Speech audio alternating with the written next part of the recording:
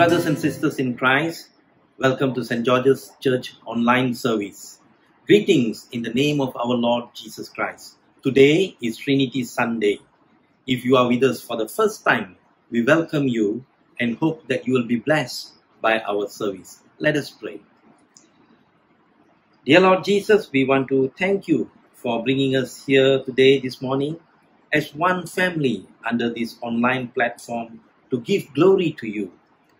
We commit this time unto your hands. We pray, O Lord, that you bless each and every one of us. In Jesus' name we pray. Amen. The introductory sentence Jesus said to him, I am the way and the truth and the life. No one comes to the Father except through me. If you had known me, you would have known my Father also.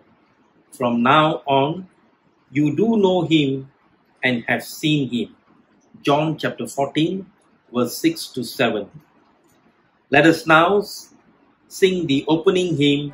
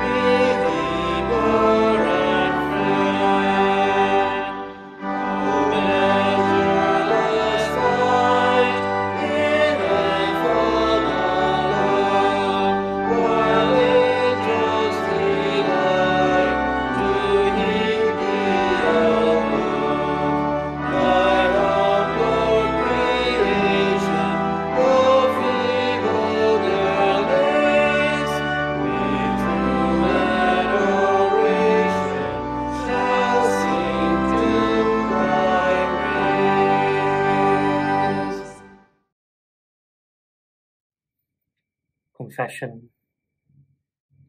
If we claim to be without sin, we deceive ourselves and the truth is not in us. If we confess our sins, He is faithful and just, and will forgive our sins and purify us from all unrighteousness.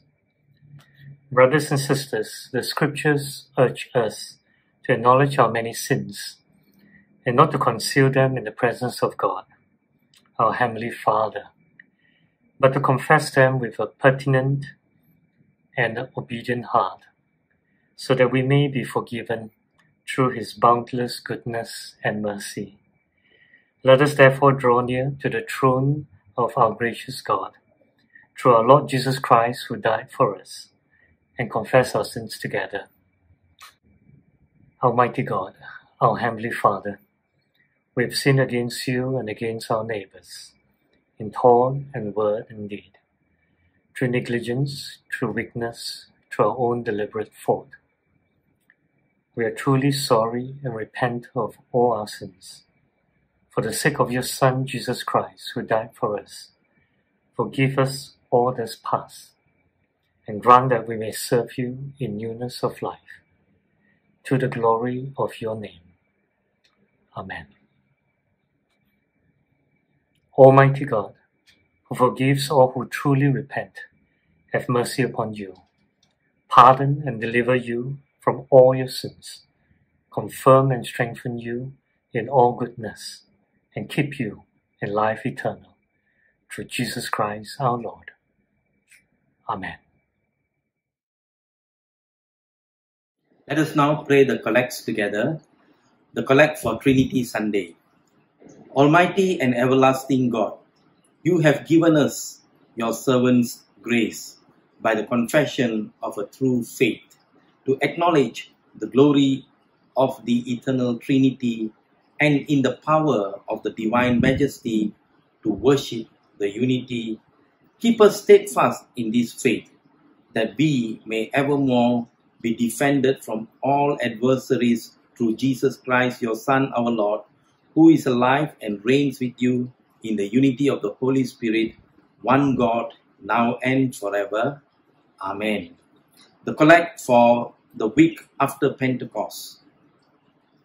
O Lord, from whom all good things come, grant to us, your humble servants, that by your holy inspiration we may think those things that are good, and by your merciful guiding may perform the same through our Lord Jesus Christ, who is alive and reigns with you in the unity of the Holy Spirit, one God, now and forever. Amen. Collect for preparing to hear God's word. Gracious Lord, you have caused all holy scriptures to be written for our learning. Help us so to hear them, read, mark, learn, and inwardly digest them, that encouraged and supported by your holy word, we may embrace and always hold fast the joyful hope of everlasting life which you have given us in our Savior Jesus Christ. Amen. We will now have the Old Testament reading.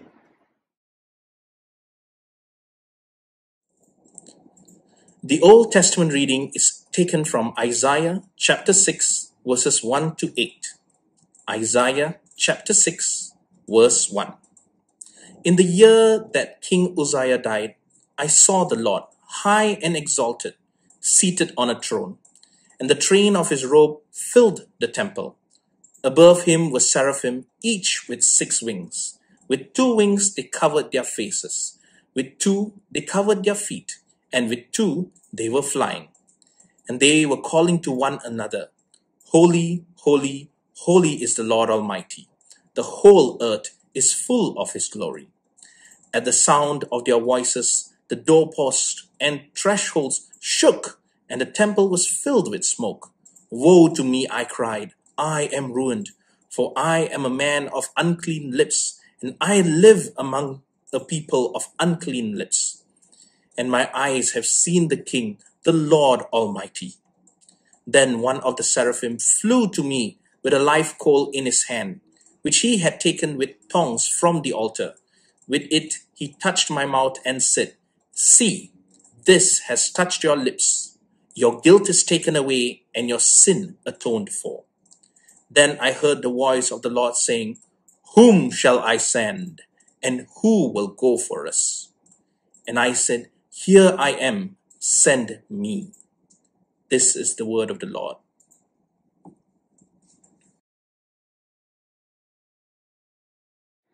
The psalm appointed for this morning is Psalm 29. Let us read this responsively. Ascribe to the Lord, you heavenly beings. Ascribe to the Lord glory and strength. Ascribe to the Lord the glory due to his name. Worship the Lord in the splendor of his holiness. The voice of the Lord is over the waters. The God of glory thunders. The Lord thunders over the mighty waters. The voice of the Lord is powerful. The voice of the Lord is majestic. The voice of the Lord breaks the cedars. The Lord breaks in pieces the cedars of Lebanon. He makes Lebanon leap like a calf, Sirion like a young wild ox. The voice of the Lord strikes with flashes of lightning. The voice of the Lord shakes the desert. The Lord shakes the desert of Kadesh. The voice of the Lord twists the oaks and strips the forest bare, and in his temple cry, Glory!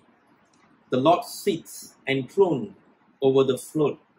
The Lord is enthroned as King forever. The Lord gives strength to his people. The Lord blesses his people with peace. Glory be to the Father, and to the Son, and to the Holy Spirit, as it was in the beginning, is now, and shall be forever. Amen. We will now have the New Testament reading. The reading is taken from the book of Romans, chapter 8, verse 12 to 17. Therefore, brothers and sisters, we have an obligation, but it is not to the flesh to live according to it. For if you live according to the flesh, you will die.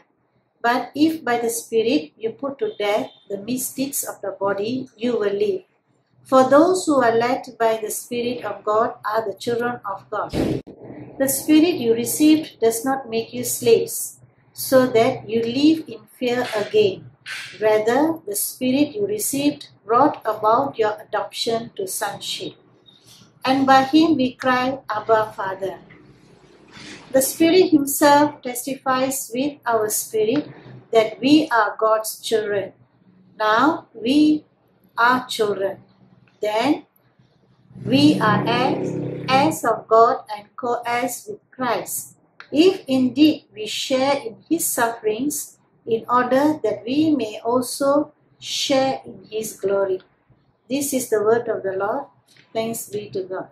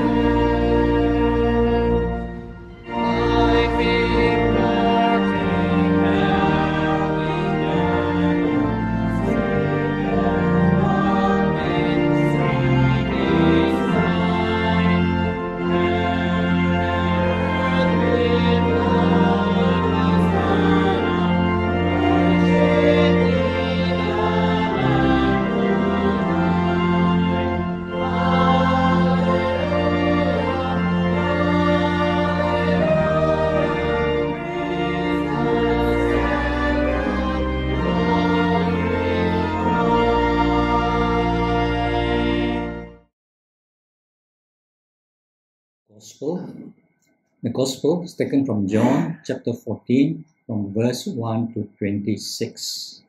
And all say together, Glory to Christ our Savior. Verse 1 Do not let your hearts be troubled. You believe in God, believe also in me.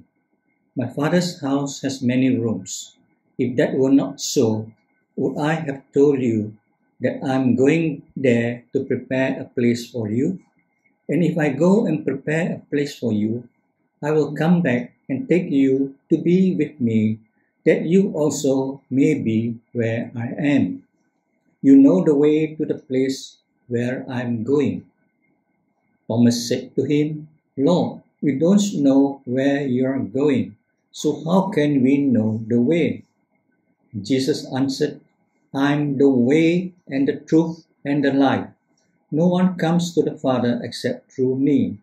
If you really know me, you will know my Father as well. From now on, you do know him and have seen him. Philip said, Lord, show us the Father, and that will be enough for us. Jesus answered, Don't you know me, Philip? Even after I have been among you such a long time, anyone who has seen me has seen the Father. How can you say, Show us the Father? Don't you believe that I am in the Father and that the Father is in me? The words I say to you, I do not speak on my own authority. Rather, it is the Father living in me who is doing his work. Believe me when I say that I am in the Father and the Father is in me, or at least believe on the evidence of the works themselves. Very truly, I tell you, whoever believes in me will do the works I have been doing, and they will do even greater things than this, because I'm going to the Father. And I will do whatever you ask in my name, so that the Father may be glorified in the Son. You may ask me for anything in my name, and I will do it. If you love me, keep my commands, and I will ask the Father, and he will give you another advocate to help you and be with you forever, the Spirit of truth. The world cannot accept him because it neither sees him nor knows him, but you know him, for he lives with you and will be in you. I will not leave you as orphans, I will come to you. And before long, the world will not see me anymore, but you will see me. Because I live, you also will live. On that day, you will realize that I am in my Father, and you are in me, and I am in you. Whoever has my commands and keeps them is the one who loves me. The one who loves me will be loved by my Father, and I too will love them and show myself to them. Then Judas, not Judas Iscariot, said, But Lord, why do you intend to show yourself to us and not to the world? Jesus replied, Anyone who loves me will obey my teaching. My Father will love them, and we will come to them and make our home with them. Anyone who does not love me will not obey my teaching. These words you hear are not my own, they belong to the Father who sent me. All this I have spoken while still with you. But the advocate, the Holy Spirit, whom the Father will send in my name, will teach you all things and will remind you of everything I have said to you. This is the gospel of Christ. Together, praise to Christ our Lord.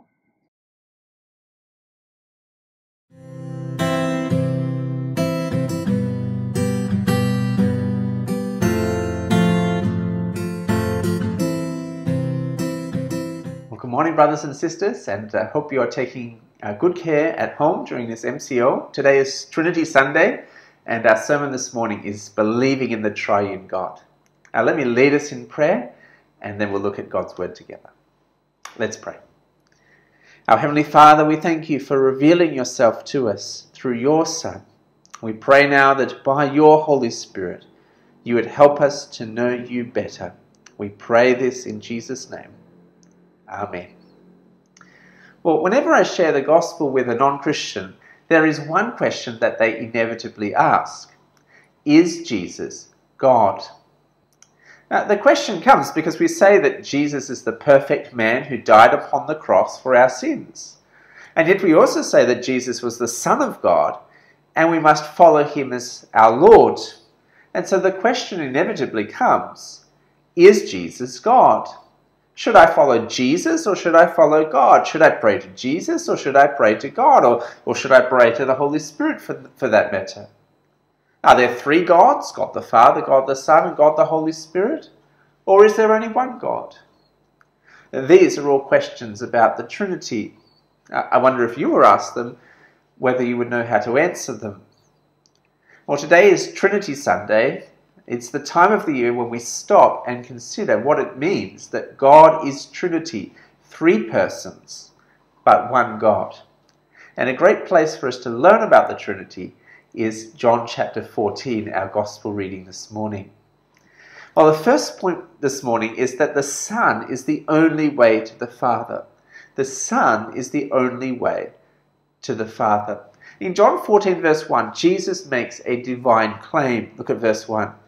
Let not your hearts be troubled. Believe in God. Believe also in me. Now, with that statement, Jesus makes himself equal with God. Now, if Jesus was not God, to, to command us to believe in him in the same way we believe in God, well, that would be blasphemous, wouldn't it? God doesn't share his glory with other people. But verse 2, we see yet another divine claim. Verse 2, Jesus says, In my Father's house are many rooms. If it were not so, would I have told you that I go to prepare a place for you? And if I go and prepare a place for you, I will come again and take you to myself, that where I am, you may be also. Notice in those verses, Jesus calls God his Father. And that also is a claim to divinity. Uh, Back in John chapter 6, verse 18, we read this. This was why the Jews were seeking all the more to kill him, because not only was he breaking the Sabbath, but he was even calling God his own Father, making himself equal with God. See, uh, heaven is, is God's house. God is the one who rules heaven. God is the one who decides who goes to heaven. But here Jesus claims that heaven is his Father's house and he can reserve a place in heaven for us. He will come and bring us there. It's a divine claim. Now, Jesus' divinity is emphasized all throughout John's Gospel. The Gospel begins, of course, John chapter 1, verse 1. In the beginning was the Word. The Word was with God, and the Word was God.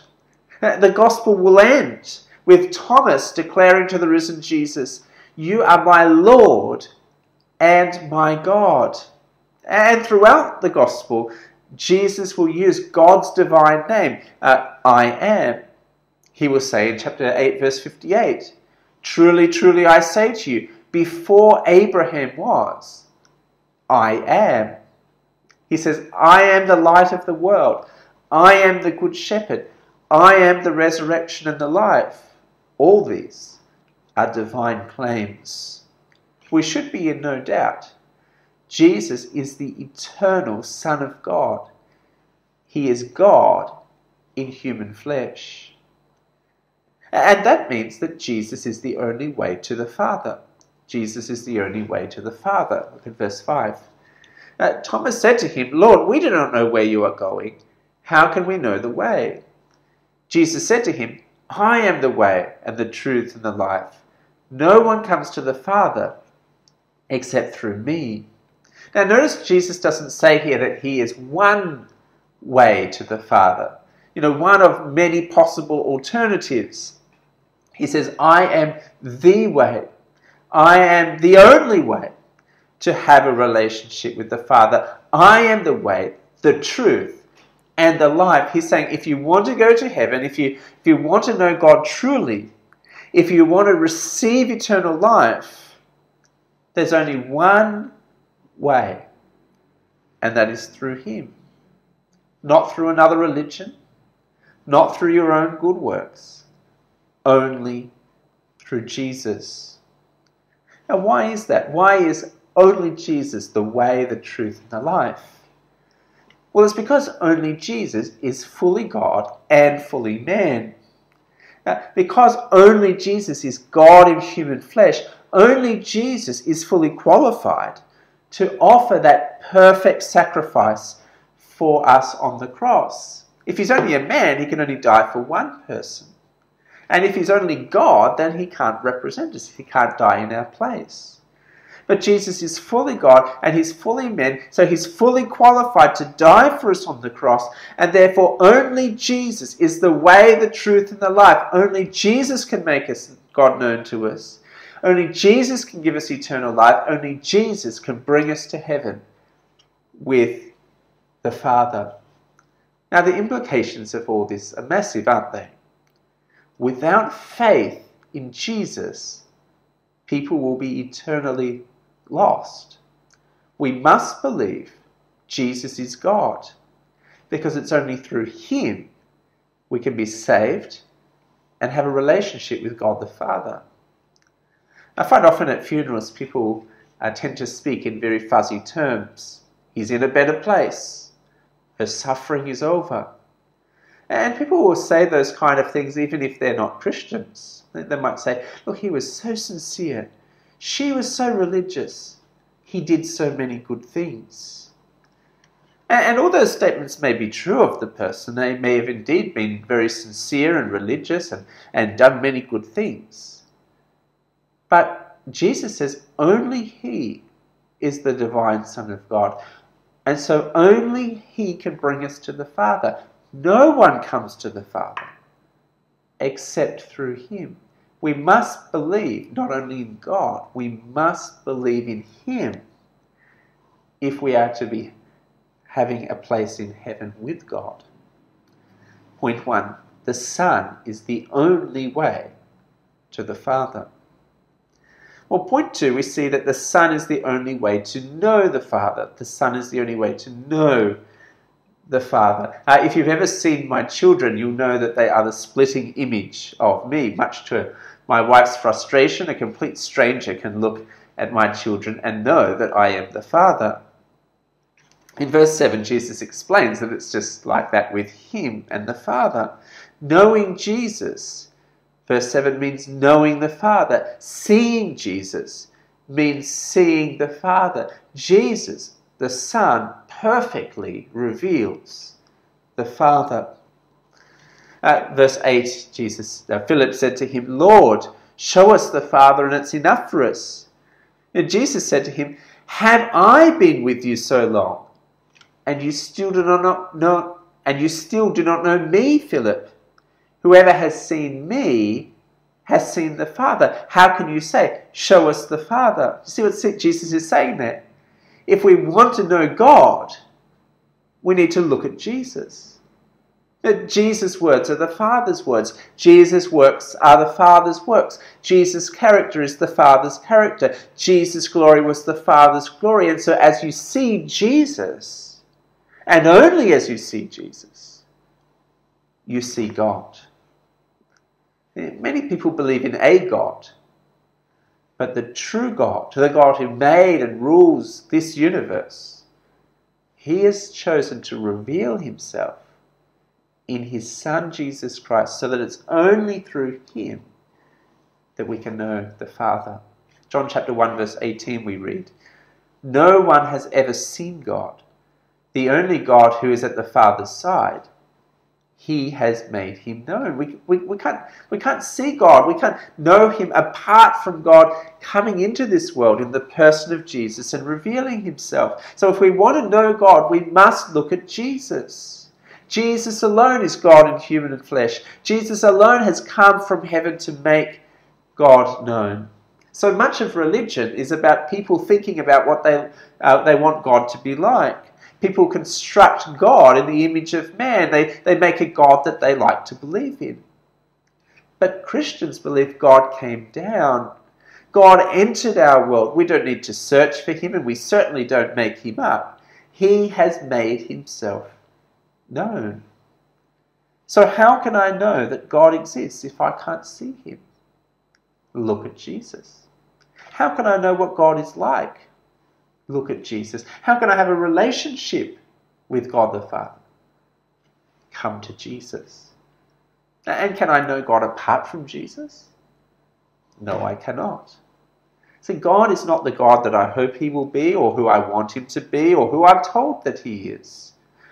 God is who He has revealed Himself to be, and He has revealed Himself in His Son, Jesus Christ. Well, Jesus goes on in verse 10 Do you not believe that I am in the Father and the Father is in me? The words that I say to you, I do not speak of my own authority, but the Father who dwells in me does his works. Believe me that I am in the Father and the Father is in me, or else believe on account of the works themselves. Now, when a woman becomes pregnant, she is, she's indwelt with a baby. The, the baby is in the mother's womb. So that where the baby go, where the mother goes, uh, the baby goes as well. The baby eats what the mother eats, and so on. Whatever the mother does, the baby does too. And here we see something even more amazing with God. We see the idea of mutual indwelling. The Father is in the Son, but the Son is also in the Father as well. The Father and the Son, you see, not just united in words and in actions, they are united in their very being. So that as the Son speaks, the Father is doing his works. As Jesus performs signs, you see the Father's glory. As Jesus carries out his Father's will, you see the Father's work. And, and, and, and it is this idea of mutual indwelling, which means that Christians believe in, in one God, but three persons Father, Son, and Holy Spirit. Three persons, three distinct persons, but only one God. Because the Father, the Son, the Holy Spirit, they are, they're so intimately related to one another in this relationship of mutual indwelling as they share the divine essence. They are three distinct persons but perfectly united as one God. And what, all this means is that the Father, He reveals Himself through the Son, He's known through the Son, He is glorified through the Son. The Father and the Son are linked in this unique and intimate way.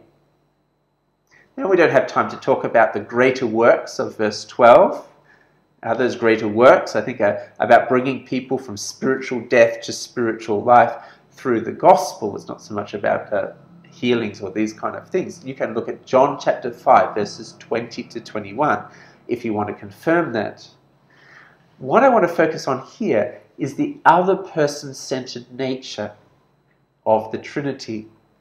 Here we see how the Son glorifies the Father. And the Father is glorified in the Son, and the Spirit is glorified as He brings people to the Father through the Son. Look at what Jesus says in verse 13.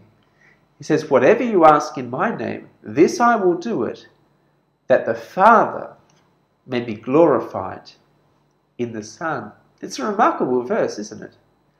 As we pray to the Father, Jesus answers our prayers. And we're told he does that for the glory of his Father. The Father is glorified in the Son. Uh, a few weeks ago, we saw the same theme in John chapter 17. Remember John chapter 17, verse 1. Jesus prayed, Father, the hour has come. Glorify your Son, that the Son may glorify you. In these verses and others, we see the other person centered nature of the Trinity. The Father loves the Son and, and seeks to glorify him and exalt him.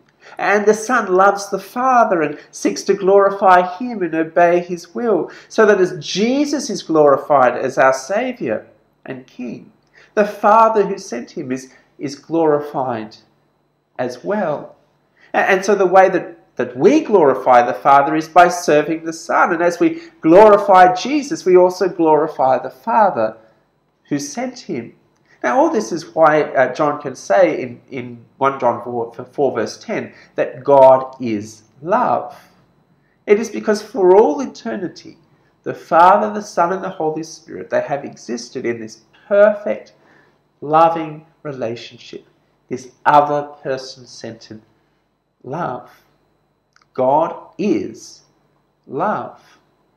And what that means is that if we truly know the Trinitarian God, then we will live in love like God does. We will be other person centered. We will reflect his image. Remember what John writes in 1 John 14.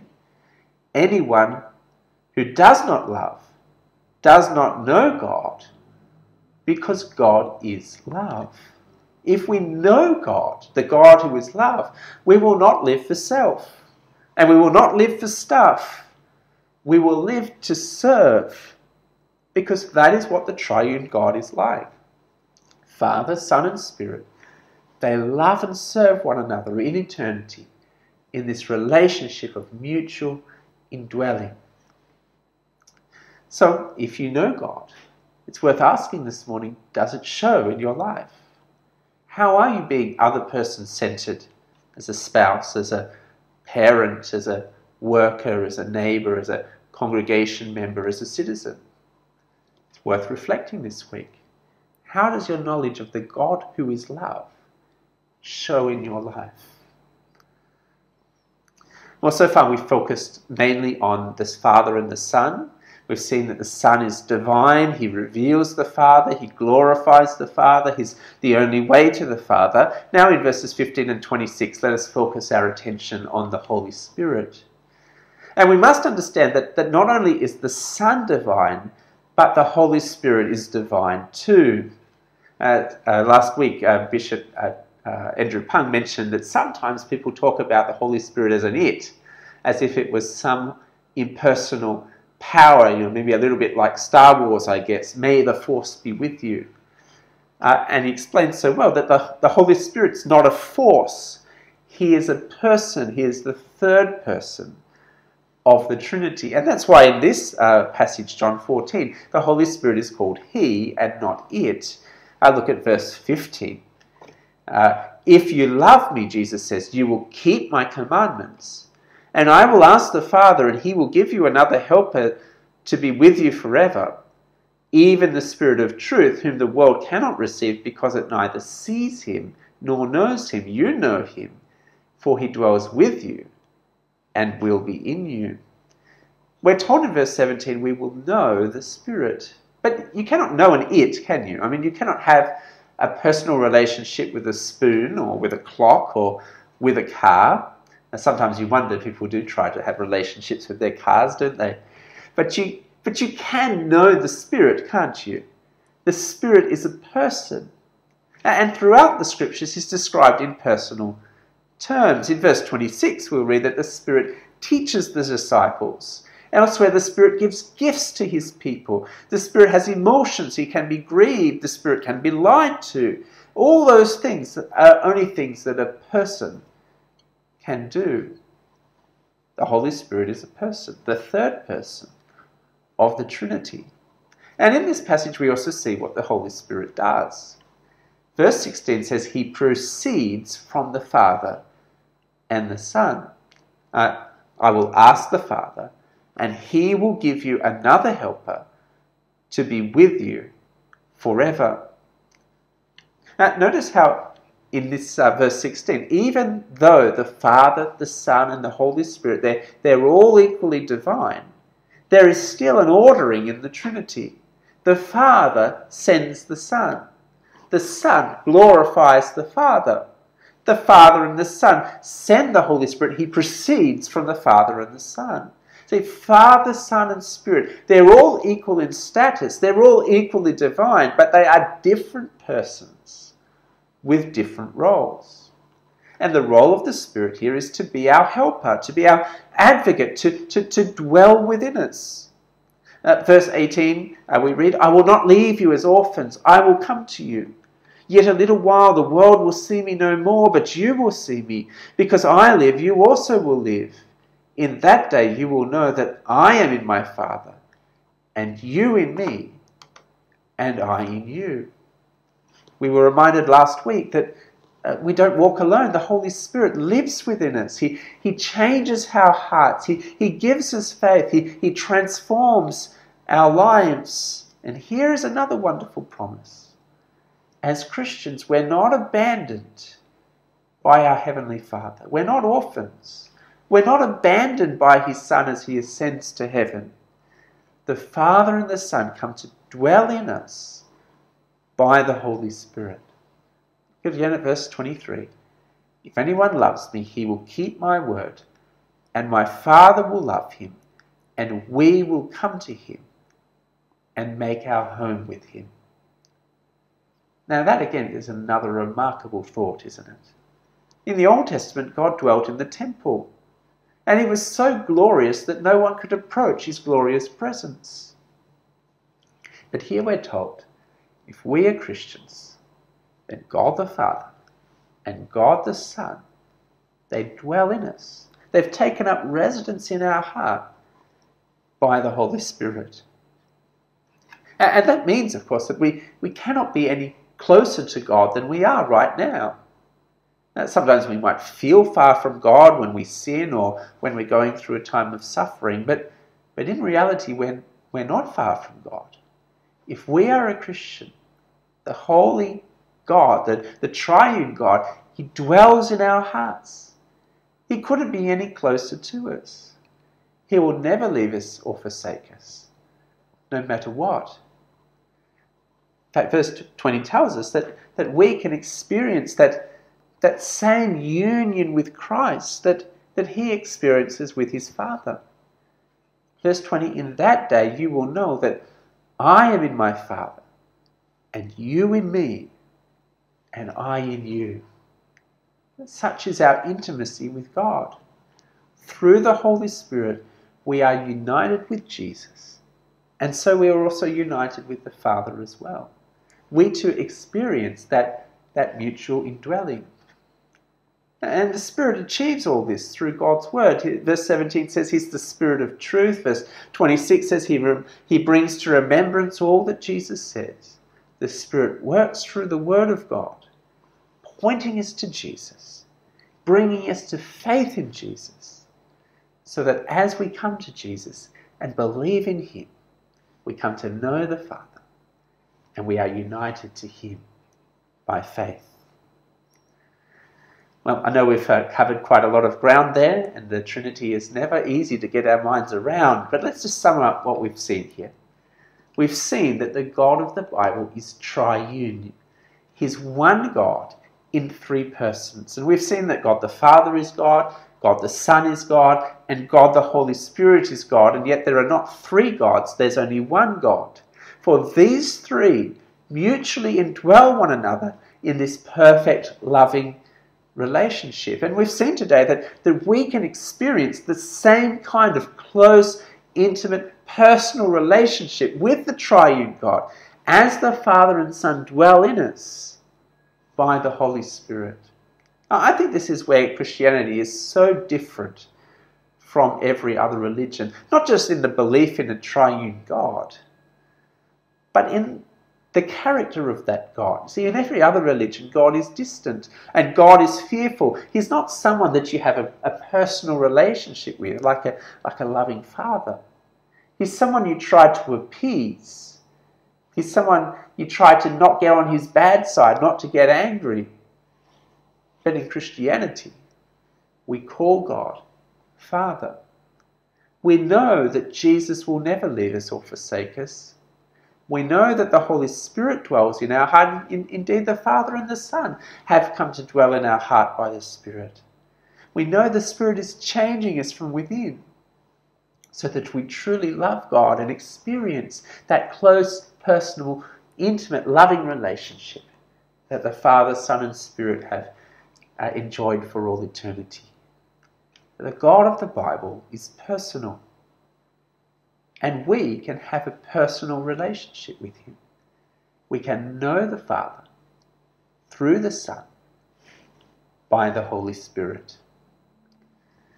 Now, I think the fact that God is triune, three persons in eternal relationship, it, it reminds us that relationships is what life is all about. Life is not about stuff. Life is not about success. Life is not about just getting jobs done. Life is about loving relationship.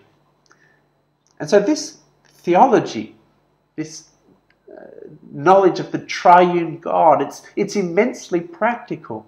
If we've truly understood the nature of God, the triune nature of God, we will prize relationships in our life. We will prize our relationships with Him, our relationships with one another. We will seek to live in other person centered love. It's immensely practical. So we've seen that there is one God, three persons. So we've also seen that those three persons have three different roles.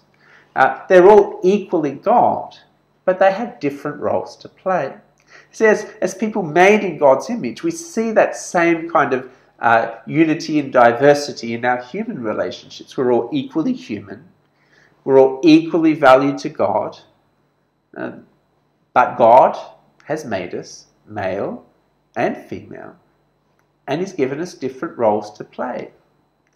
Uh, we see that expressed in marriage, don't we? The, the husband is to lead and lay down his life for his wife. The, the wife is to honour and submit to the husband as, as the head. They're both equally married, they're both equally valuable, but they have these different roles to play.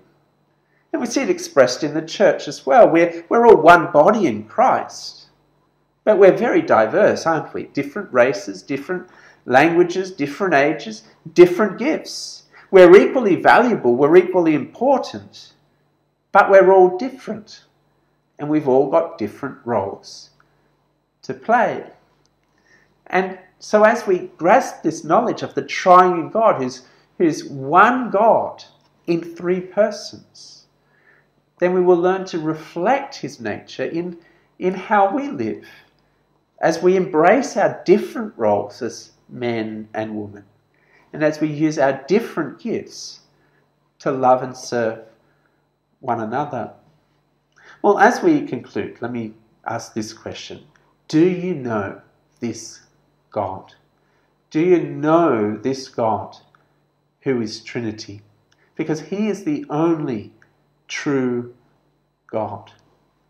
And if you do, if by the Spirit you have believed in the Son and have come to know the Father, then you can look forward to an eternity in the Father's house, in heaven itself, with the Father, with Christ, with the Holy Spirit, in eternal glory. We will know, we will know Him. We will love Him forever. We will share in His love. Uh, and this, if this morning you're tuning in and you have not yet believed in Christ, then understand this. There is no other way to salvation than to believe in the Christian God, the triune God. Is Jesus God? Yes, He is. And it is absolutely essential that you come to believe that and live in the light of it. Jesus is the only way to the Father. Jesus is the only way to know the Father. And it's only by the Spirit's work that we will ever come to recognize Jesus is our Lord and God is our Father, and so be, and so be saved. And so, will you believe in God and believe also in Jesus by the Holy Spirit? Will you believe in the triune God? Let's pray. We praise you, Father, Son, and Holy Spirit, three persons, one God. We thank you, Heavenly Father, that we can have a relationship with you through your Son, Jesus Christ.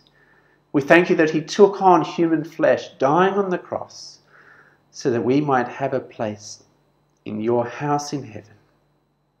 We thank you that you've poured out your Spirit upon us, that we, we may indeed recognize you as our Lord, and that we may recognize God as our Father. Father, by your Spirit, would you help us to know you better? Help us to love you. Help us to serve your Son and so glorify you. And Lord, help us to show our love for you in how we treat other people. Help us to be other person centered, to be full of love like you are, to use our varied gifts, our various roles for the good of others. And so we pray, Heavenly Father, that we would bring glory to you as we serve your Son by the Holy Spirit. And we pray this in Jesus' name. Amen.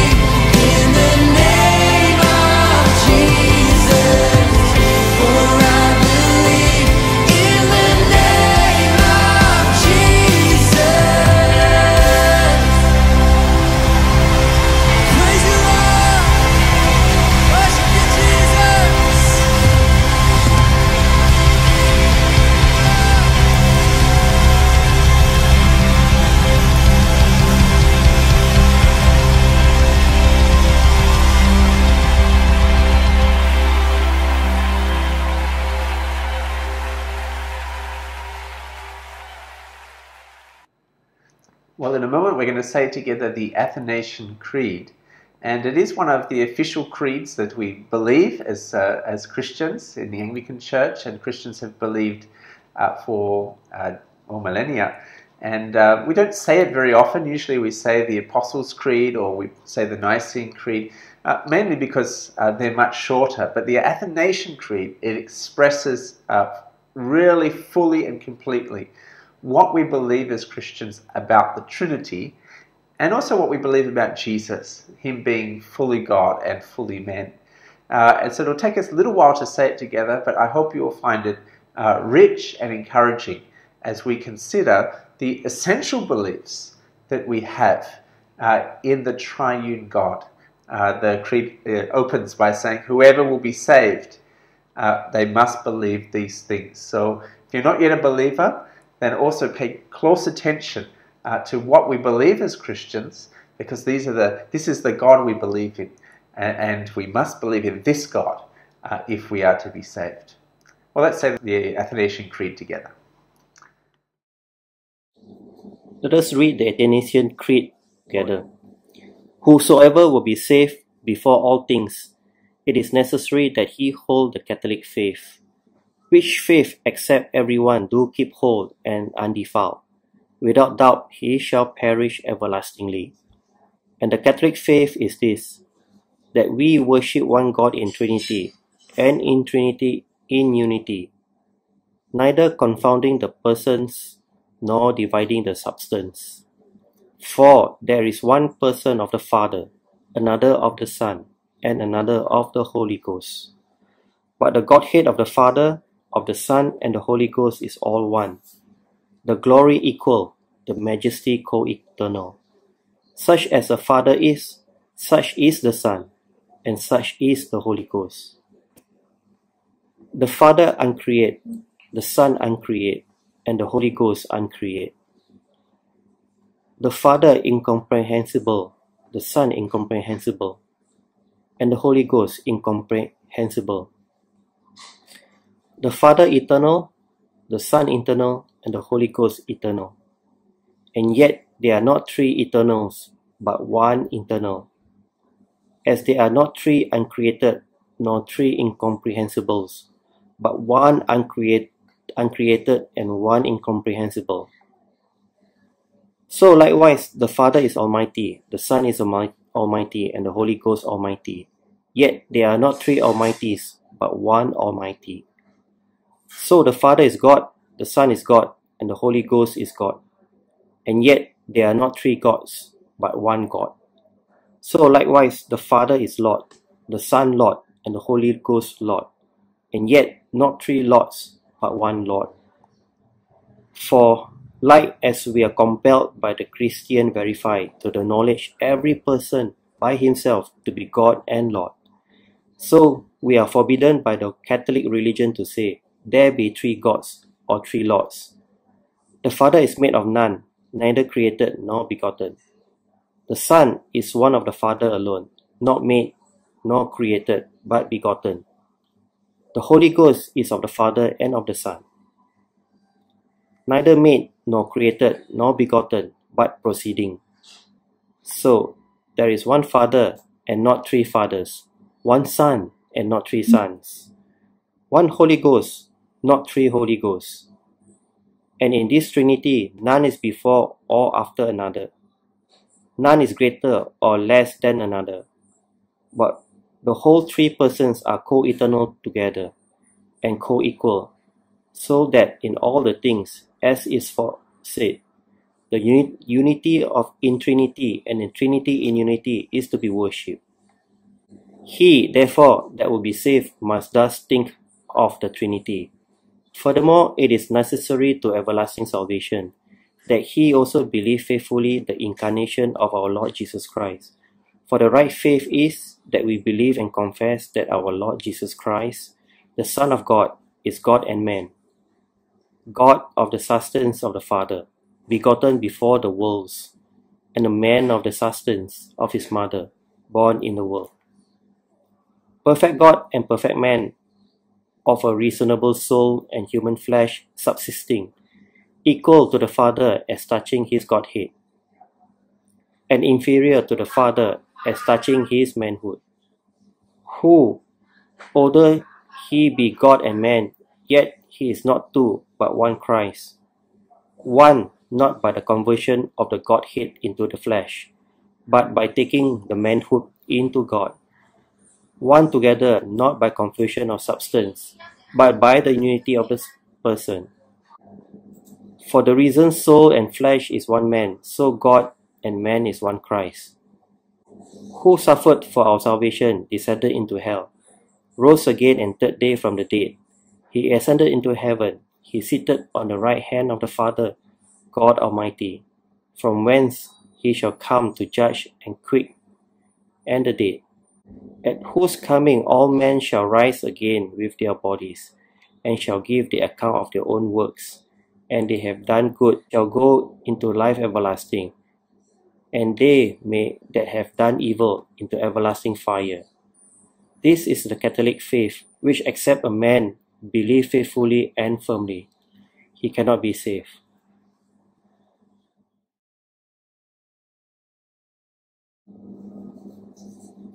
Let us bow our head in prayer. God, our Heavenly Father, you promised through your Son Jesus Christ to hear us when we pray in faith. We commit to you the nations of the world and our own nation. We pray for the victims of the recent LRT crash in Kuala Lumpur for recovery from the physical injuries and from emotional trauma. We also pray for the wisdom of our governing authorities, Lord, as they seek to cope with the surge of COVID 19 cases worldwide. Pray for a fair, safe, and efficient distribution of vaccines locally and globally. Also pray for hospitals, Lord, who are struggling with the influx of patients, especially where ICU units have reached capacity. We pray for the comfort for those who have lost their loved ones as well. Also pray for Christians would be a beacon of hope to our suffering world and be effective witness of Christ. Also pray that Christians suffering in mind, body, and spirit may find hope and strength in Christ. Bless and guide our Yang di Agong, Prime Minister and Chief Minister. Give wisdom to all in authority. Direct this and every nation in the ways of justice and of peace, that may men may honor one another and seek the common good. Lord, in your mercy, hear our prayer. Also pray for the church in Germany. where approximately 64.3% of the population identify as Christians. We pray for the local Christians to seize the opportunity to share the gospel with many migrants coming to the country. We also pray for the establishment of the immigrant churches which reach out cross-culturally to migrant communities. We pray the gospel be shared among the 250,000 international students in Germany, which is the third highest in the world today.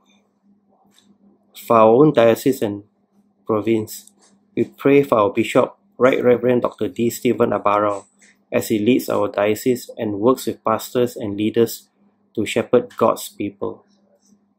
We pray for the zeal in sharing the gospel with those around us. Also pray for the boldness to overcome fears of sharing the gospel with those around us as well. For our own area diocese of Northern Peninsula Upper North, we pray for Emmanuel Harvest Center Sungai Ara Penang Especially we pray for the priest in charge, Bishop Andrew Pang and his family, their PCC, church members, and all ministries in the parish. We pray, Lord, that the church will continue to grow in your glory, Lord. Also pray for our own church, especially we pray for Bishop Andrew Pang, Right Reverend Dr. Richard Low, Reverend Tim Nichols, Reverend Ho Kong Eng, and all of their families. Also pray that all our ministries and auxiliary bodies, Lord, would nurture and disciple people towards maturity in Christ.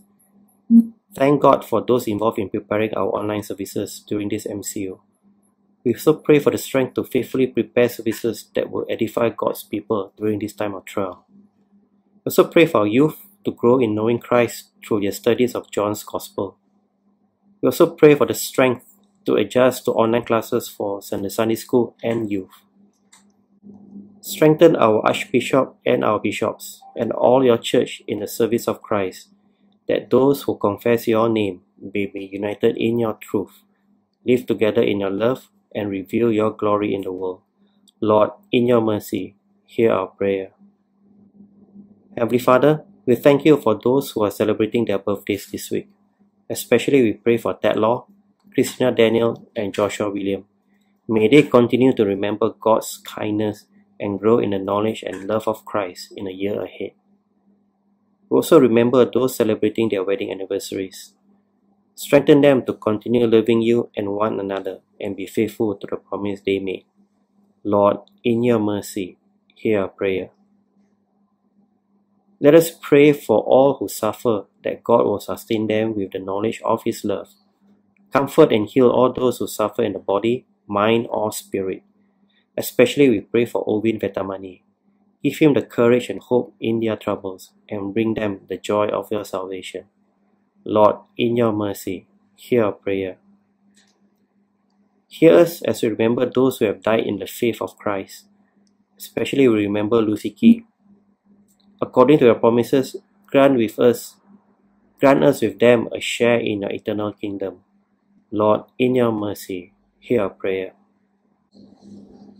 Almighty and eternal God, you have revealed yourself as Father, Son, and Holy Spirit, and live and reign in a perfect unity of love.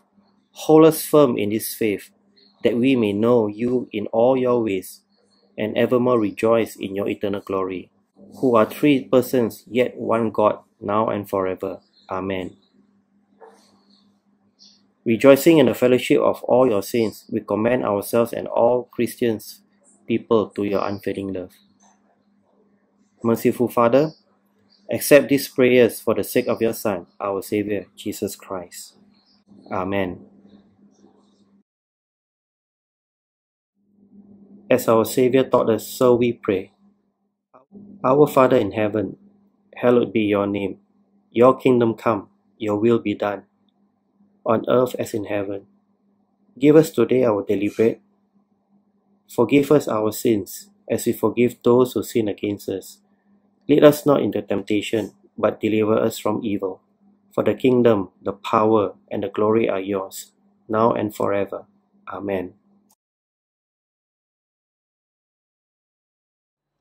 Well, good morning once again, and uh, just a few announcements before we finish the service for today. And uh, let me say a very warm welcome, especially if you're joining us for the very first time today. Uh, perhaps you found us online or you were invited by a regular.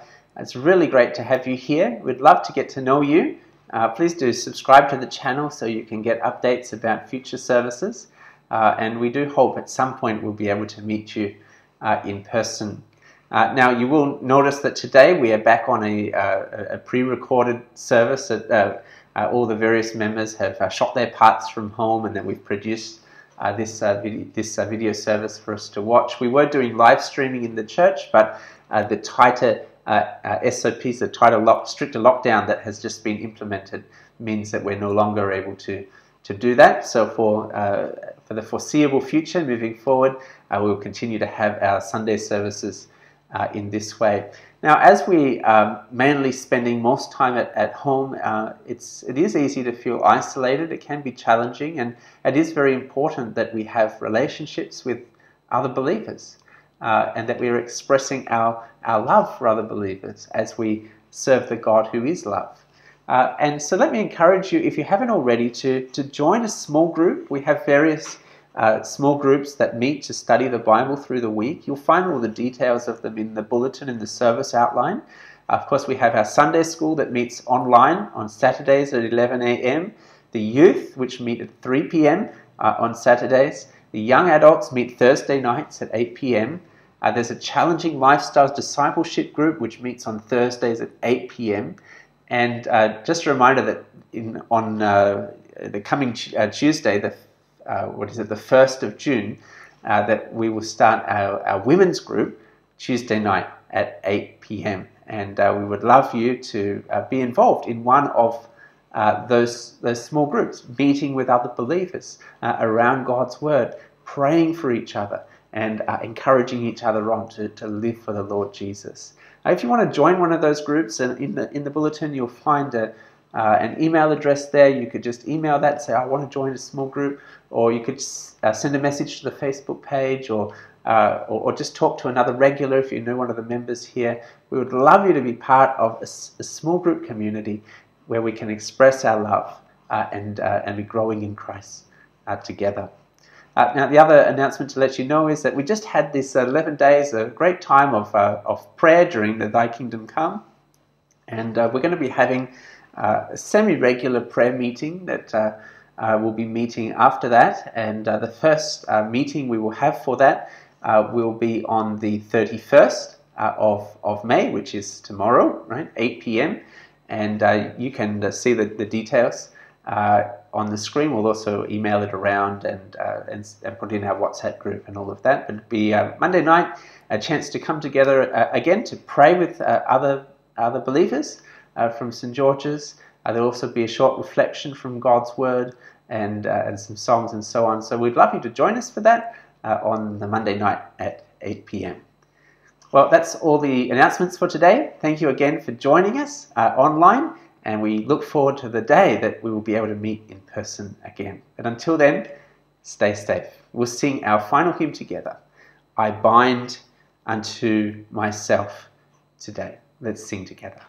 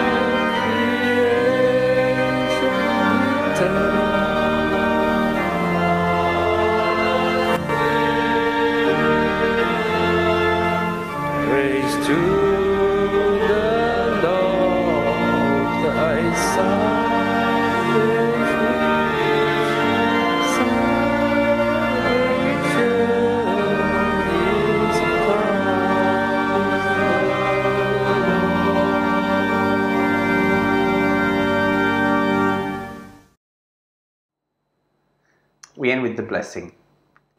God, the Holy Trinity, make you strong in faith and love, defend you on every side, and guide you in truth and peace. And the blessing of God Almighty, the Father, the Son, and the Holy Spirit be among you and remain with you always. Amen. Go in peace to love and serve the Lord. In the name of Christ. Amen.